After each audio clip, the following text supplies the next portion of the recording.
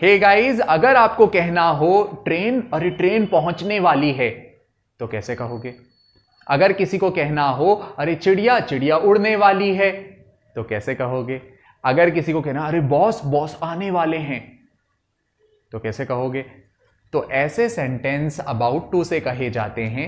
जैसे मैंने कहा ट्रेन पहुँचने वाली है train is about to reach boss आने वाले हैं boss is about to come bird उड़ने वाली है bird is about to fly और बेबी सोने वाला है baby is about to sleep तो इस तरह के सेंटेंस अगर आप और सीखना चाहते हैं, अपनी स्पोकन इंग्लिश को एक लेवल अप ले जाना चाहते हैं तो हिंग खोज के नमस्ते इंग्लिश को डाउनलोड कीजिए तनवीर सर के कोर्स को ज्वाइन कीजिए और स्पोकन इंग्लिश में एक्सपर्ट बन जाइए।